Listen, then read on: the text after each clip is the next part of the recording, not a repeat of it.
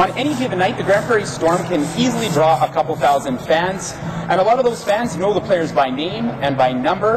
And today we've taken the players out of the arena and brought them here to a restaurant. We have Captain Blake Clement and defenseman Bobby Tyson. Boys, how's it going? Good. It's going real well. Tell everyone what we're doing here today. Well, just uh, having a little day out, eating some lunch with you, and uh, I don't know, something uh, new, I guess. 2,000, 3,000 fans for a home game. I mean, you guys are the biggest ticket in town. People know you. They, I mean, you're heroes to a lot of local kids. Just, you know, tell me a little bit about how that feels. Well, uh, it's. I'll start. It's uh, pretty amazing for me. I know Blake's uh, from Grande Prairie, so he's used to this. But uh, I came up through uh, Powell River in the BCHL, and we were lucky to have six or seven hundred fans at a game. And the rink was nowhere as big, nowhere as nice as it is here. And so my first uh, my first game was on a Wednesday night, and I think we had 15 to 1700 fans, and I was just I was in awe. I was absolutely taken aback at how strong the support was on a, on a weekday game, no less, because we'd probably get 300 fans in Powell River on a weekday game. Compared to 1,500 here, I knew I was in the place I wanted to play hockey for the rest of my junior career.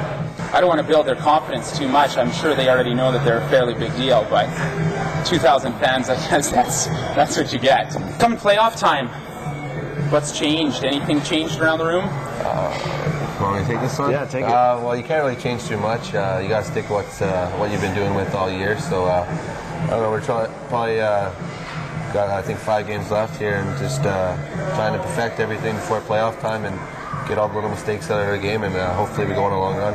I know you guys got some serious characters on your club.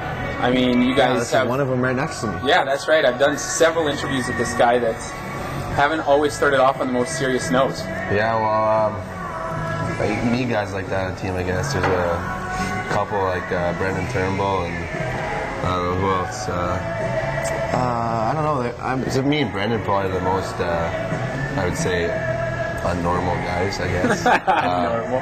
yeah, we just like to keep it loose lots of time and uh, make it fun in the dressing room, I guess. And that way guys like to be there and it's fun for everyone. But Blake and Brendan's uh, definition of loose crosses some serious boundaries as far as normal people go. If they stepped in the locker room and took something out of context, which our coach does on occasion, he walks in during the during the weirdest moments you can walk in, and uh, yeah, I think it would probably spook a couple people, but it's it's all in good fun. It's just you know boys being boys, bonding. All right, boys, thanks very much. No problem. Yeah, thanks, Aaron. No problem.